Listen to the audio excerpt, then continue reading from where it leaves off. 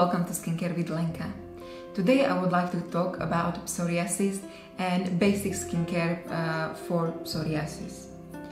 Uh, so if you've been watching my channel or me, you know that uh, I have been diagnosed with psoriasis when I was 11 years old and I made a two-part video about psoriasis before so if you want go check it out. Uh, to understand for psoriasis there is no cure, there is only managing your symptoms um, and of course you have your uh, light therapy and you have uh, topical steroids, uh, oral steroids and biologicals but what I want to talk today is the basic um, uh, skincare for psoriasis and ingredients or uh, topical uh, ointments you can get over the counter. You don't need uh, a dermatologist uh, uh, to prescribe you. Quick disclaimer before we start. I am not a dermatologist and this video is made for educational and entertainment purposes only. In this video I just want to simply share techniques and ingredients which was working for my skin and are uh, generally recommended by dermatologists. I am a member of uh, Facebook uh, support groups for psoriasis and what I can see uh, over and over is um, um, similar complaints or um, sometimes not understanding uh, what ingredients are prescribed for what or what they should be using and it's just uh, a little bit confusion uh, on social media so I thought um, maybe this video will help clear uh, something. Uh, so for example like the most complain and uh, I complain myself about the same thing um, that dermatologists that I will just try and try different creams and different things uh, without big success and you just have a feeling like you're a lab rat, you know, like just putting whatever on you. Well, let me just explain uh, why is, is it that way or why this is happening. I done basic dermatology course uh, uh and only then I understood why uh, the process is as it is. Well, basically, psoriasis is inflammatory um, disease, right? So it, can infect your skin. Uh, so the most manifestations is in your skin. It can affect your joints. It can uh, affect digestive system. It can affect many uh, different systems in your body. Um, and much like other inflammatory diseases, they, uh, the skin manifestation they look exactly the same. Uh, well, not exactly, they look really, really similar. So the uh, seborrheic, seborrheic dermatitis or atopical dermatitis, eczema and psoriasis, they look really, really similar. Um, so unless you do biopsy, uh, which also can be inconclusive, um, uh, you really cannot tell if it's psoriasis or eczema or dead or death. The way how the dermatologist will proceed is to try different medication and see uh, what works, like elimination uh, system. Maybe they will try antifungal uh, uh shampoo like a Nizoral uh, for if you have a scalp psoriasis because they want to find out if you have seborrheic dermatitis or psoriasis. So oftentimes for psoriasis, the antifungal cream won't uh, or shampoo won't do anything. So that gives the uh, you know idea for dermatologists like okay, so it's probably seborrheic dermatitis. Uh, also another clue is that the flakes in seborrheic dermatitis are more oily. Uh, so the problem, the uh, the um, uh, the root cause for psoriasis and seborrheic dermatitis, they're different. One, it's uh, caused by overgrowth of uh, Malassezia yeast, another one is inflammatory disease. Um, but again, they look very, very similar. So your dermatologist will just try a few things and see how it goes. The complaint number two is um, that cream doesn't work or that emollient cream doesn't do anything for me. So the biggest problem is um, that people with psoriasis or eczema, um, they will only treat their skin when they have flare-up. and that's a big mistake. You need to take care of your skin. Uh, even it looks really good, then you don't have flare up, you don't have dry skin. You keep, you need to keep going um, with a strong routine, and then will help maintain uh, uh, the the normal, not normal, better skin um, skin barrier function. So to explain, uh, in people with psoriasis or eczema or other uh, inflammatory diseases, our skin barrier doesn't work properly like for other people. So we need to really take care of our skin uh, constantly. And constantly, I mean daily. It's not when I have flare up, it's every single day. So let's talk about uh, moisturizers. So basic moisturizer, um, the reason why we use it is to prevent transepidermal water loss. This is just fancy word for uh, water evaporating from your skin.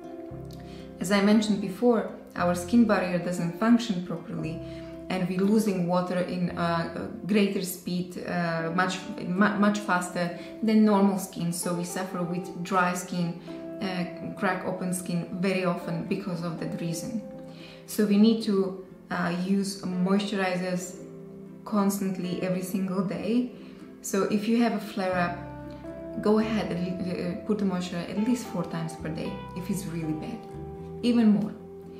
If it's uh, uh, your skin look uh, fabulous and good and you have teeny tiny spot here and there, use moisturizer twice a day, in the morning and in the evening after shower. The way how we apply moisturizer is on the damp skin. Uh, so for example, uh, right after shower, you, uh, uh, you, just gently tap the water away and apply moisturizer straight away from head to toes. Uh, this will lock the moisture in and prevent the transepidermal water loss.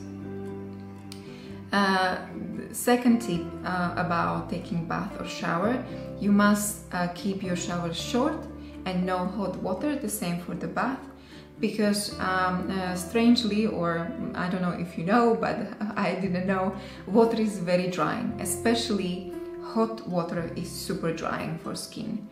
Uh, so you need to avoid it and as I said apply moisturizer right after the, uh, the bath or um, shower. The same thing is when uh, you are swimming in a swimming pool. You should, uh, after you finish swimming, uh, take a shower to rinse uh, the chlorinated water off your skin and reapply uh, sunscreen. So sunscreen in this instant will work as a moisturizer, so you don't have to, you know, carry the moisturizer with you when you go for swim. Um, so this is very important. Like the the number one goal is to prevent water evaporation and second to avoid irritation. Uh, to avoid irritation is uh, especially so we don't use uh, skincare with fragrance, essential oils, uh, very abrasive um, uh, body scrubs. Um, about the moisturizer, so you have lots of different kind of moisturizers.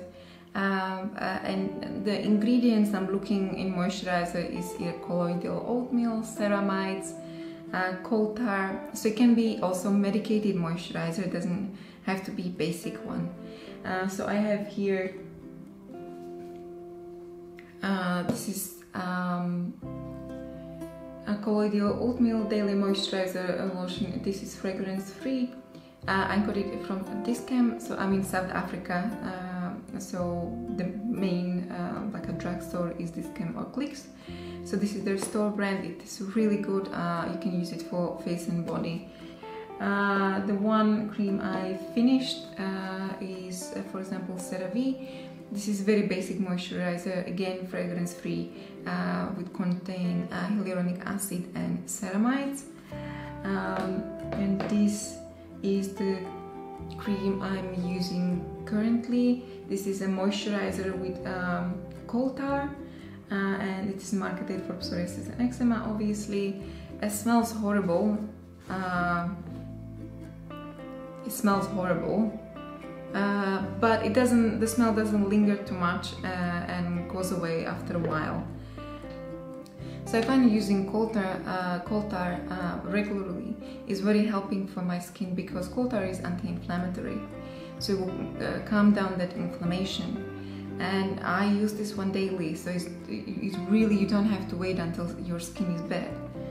Uh, I have another one if I have bigger flare-up. So this is um, an ointment uh, with coal tar again a small smells quite bad but it's much thicker. And you can um, go uh, one day to use you know uh, the one just with colloidal oatmeal and another day use with coal tar or there, there are moisturizers uh, as well with um, salicylic acid or um, um, glycolic acid which will help exfoliate and moisturize at the same time. Um, for me, I exfoliate um, uh, with chemical exfoliant, again that's salicylic acid and glycolic acid.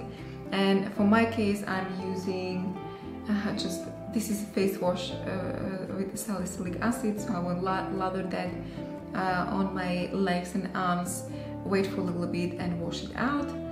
Or I use glycolic acid, um, I put just in a cotton bud, um, wipe it, uh, let it dry, put moisturizer over it. So you can use this technique uh, for help to exfoliate um, or you can again get a moisturizer with exfoliant uh, with, with salicylic or glycolic acid in it already. It's very important to moisturize, then it's very important uh, to exfoliate, but exfoliate gently. If you use scrubs, uh, apricot scrub or something, you create micro injury which you're driving the inflammation, which this is the one you, we, we, try to avoid, right? Remember goal number one, avoid um, drying your skin, and uh, goal number two is to avoid irritation. So uh, gentle exfoliation is way to go. Let's go to um, scalp psoriasis. Um, the best way to control the scalp psoriasis and I used to had um, uh, full head. I had um, uh, you know map on my forehead and, and full full head on um, uh, scalp psoriasis. And the best way is to deal with it uh, for relief. I would soak my head uh, in colloidal oatmeal bath, or I would uh, soak my head and my body obviously in um, bath salt from the Dead Sea. They contain um, uh, minerals which are very soothing and moisturizing. So I would soak my head uh, in the water uh, to, uh, to soothe and I would use salicylic acid and coal tar shampoo either separate. Uh, if you have separate then it's best to use it uh, salicylic acid shampoo at least three times a week uh, to help uh, remove that buildup because salicylic acid is exfoliating skin. Uh, and at least once a week to use coal tar shampoo which is uh, soothing and uh, anti-inflammatory so calm down the inflammation. I have a combination of both you have a trouble to you know keep washing your hair with medicated shampoo in that case i would recommend to get um, just a really really gentle shampoo. This is again I think I got it from Dis-Chem here. Uh, but this is a shampoo uh, which is uh, fragrance free color free uh, and contains urea. So urea is again um, very soothing and moisturizing also helps a little bit exfoliate. So this is a super gentle shampoo and uh, I would uh, suggest one day use medicated shampoo and the day maybe just very uh, gentle one. And, and use your um, hair mask and conditioner uh, it's fine.